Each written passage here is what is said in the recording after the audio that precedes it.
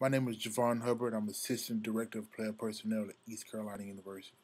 With the Nunn Wooten Scouting Fellowship, I'm looking to combine my passion of scouting, my desire to be a scout in the National Football League. If given the opportunity, you will see my strong work ethic, my attention to details, and my love of football. Hope to be a part of a great organization.